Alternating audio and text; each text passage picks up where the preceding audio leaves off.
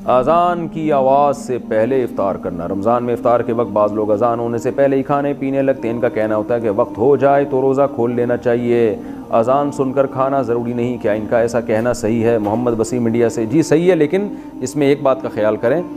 आपने जो application download की भी अपने इलाके के लिहाज से या घर में कोई भी आपकी जंतरी या नक्शा है, जिसमें रोज़े के, जिसमें सूरज गुरूब होने का टाइम लिखा हुआ है कम से कम दो मिनट बाद उस टाइम से रोज़ा खोलें। ये मैं डिटेल में बता चुका हूँ इससे पहले वाले मसाइल में कि अगर मिसाल के तौर पर छः बज के पचास मिनट लिखा हुआ है तो जैसे ही छः बज के, यानी सिक्स फिफ्टी लिखा हुआ है तो सिक्स बज के फिफ्टी थ्री मिनट होते ही आप इफ्तार कर लें।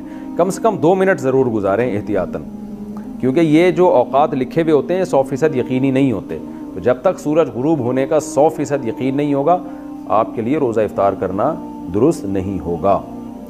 बाज़ लोग कहते हैं, हदीस में तो आता है, जल्दी इफ़ार करो। तो जल्दी का मतलब सूरज गुरूब होने का यकीन तो होना पहले। यकीन होने के बाद फिर जल्दी इफ़ार करो।